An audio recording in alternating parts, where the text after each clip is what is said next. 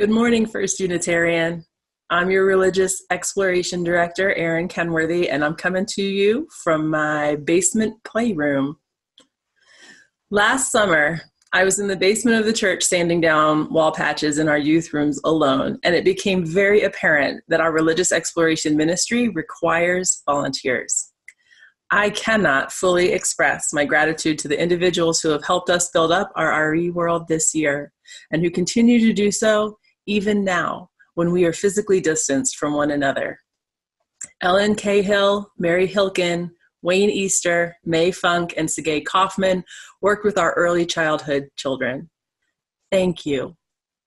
Eddie Carroll, Lena McCain, Matt Davis, Patrick Wharton, Julia Johns, Marilee Bow, Danica Larson, Jason Kenworthy, and Amelia Dorn all supported our OWL program this year. Thank you.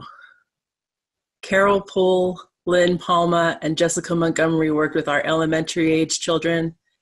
Thank you. Jessica Byler, Andrew Nome, Madeline Stein, and Barry Osborne worked with our middle school and senior high youth. Thank you so much.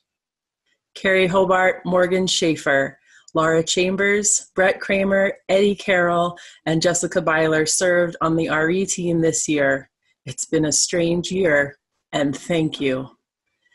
Jan Dever, Mary Sullivan, and Carl Jonitz provided clarity around the Carolyn Utter Fund. Thank you. Coral Causeway, Stu Ferguson, Tim Murphy, Aaron Bassnett, Kara, Jessica, Mary, and others who helped with painting and assembling furniture for the youth room upgrades last summer. Thank you. Our goal in RE this year was to provide an environment where the participants could be creative and get to know one another better. We leaned away from traditional curriculum and into building relationships. In the youth rooms, we transformed their physical space into places where they could get cozy, play games, and build relationships. In the new classrooms down the hall, we tried to create spaces that invited play, exploration, creativity, and familiarity. Our K1 classroom received a playhouse with a slide, and our upper elementary class received a Lego lab. In creating these RE spaces at First Unitarian and in my own past, I've found that creating something with or alongside another person alters the way that my mind operates and relates. Perhaps you've experienced this magic when preparing a meal with a friend, or coloring together with a child, crafting with someone you love, or playing with neighbors, or painting a room and assembling two sectional sofas and four club chairs in the basement of the church. It is the tiny but powerful shift that occurs in your consciousness when your inner focus is distracted enough on a simple task to allow for genuine connection with another individual. There's science behind the phenomenon. It's the state of regulation in the nervous system the experience of mindfulness that can occur when we engage our nervous systems in activities that end the dysregulation that can manifest as anxiety, defensiveness, overwhelm, irritation, lack of motivation, depression, and helplessness. I didn't have the vocabulary before talking with some of my therapist friends, but I knew that feeling well enough to seek out ways to create it for myself and for others. The Lego Lab concept was inspired by this exact feeling. This building up a world service today was going to be a Lego themed experiment in our sanctuary, inviting our community to collaboratively build a Lego creation together as an extension of what our Lego Lab was meant to be this year. And I promise we'll still do that one in the future. Right now, so many people are torn between making up and making do. Do we reschedule that event? Do we cancel it?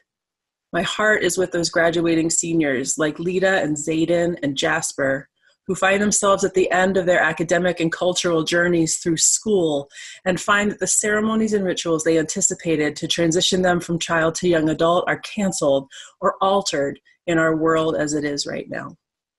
They are building new ways to mark that passage, to personalize and celebrate it amidst a global pandemic.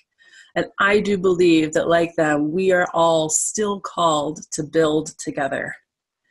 Sifting through social media recently, I came across a photo of actor Terry Crews showing off a Legos Star Wars set that he completed at home during social distancing, and he captioned the photo.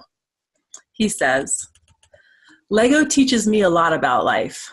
I've learned that we human beings are like, Lego, are like Legos. Just because you are in pieces, does that mean that you are broken? No. You sometimes just have to disassemble and put all the parts back right again, and that takes time.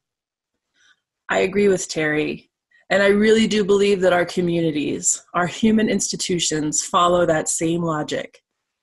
Many of us are sitting this morning in our dysregulated nervous systems, and we are not broken. We are called to play and dream and rebuild the world into which we will emerge in the coming weeks and months. There are systems that need to be disassembled or smashed and rebuilt alongside the communities who were harmed or underserved in the world before COVID. We are called to connect with those closest to us, to strengthen our relationships, discard assumptions and expectations that no longer serve us, and radically dream up a better world so that we can build it together. We don't always get an instruction manual like you do in a Lego set. Sometimes you just have to look at what you've got and play around a little bit until your vision starts to materialize. We've got the time and the opportunity so, what do you want to build? Blessings on this coming week.